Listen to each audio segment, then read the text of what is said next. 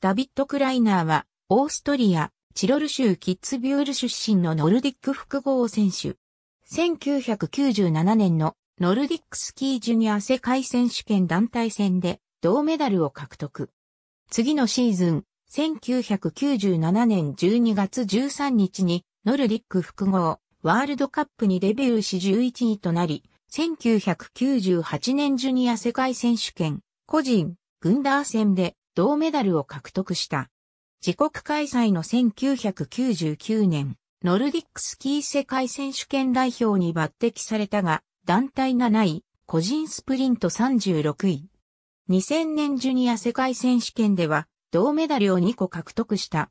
2000から2001シーズンは、ワールドカップで10位以内を維持し、ジュニア世界選手権ではスプリントで金メダル、グンダー戦で銅メダルを獲得した。2001年ノルディックスキー世界選手権では、グンダー戦9位、スプリント10位、団体戦では銀メダル獲得に貢献した。ワールドカップ総合では12位となった。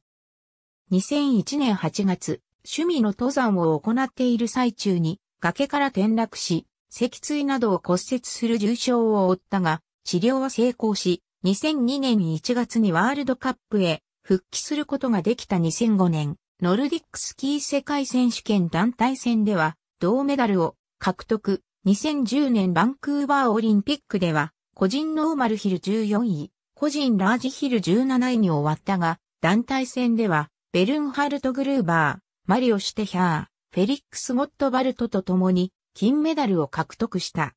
2009から2010シーズン終了時点で、ワールドカップでは2位が最高位、総合では2007から2008シーズンの10位が最高位。ありがとうございます。